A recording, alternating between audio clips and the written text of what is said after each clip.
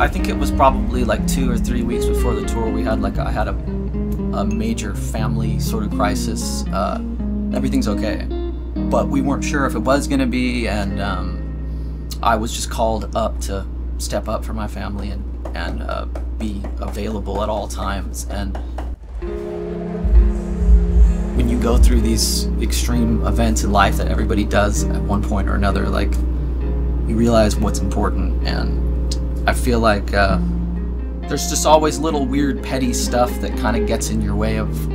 loving or being happy with people around you and it really puts things into perspective to have to kind of grow up and go through stuff. And I know it happens for some people younger and older but now that uh, we've all come to the other side of it I'm definitely closer with everyone including people that weren't even involved in it I feel like uh,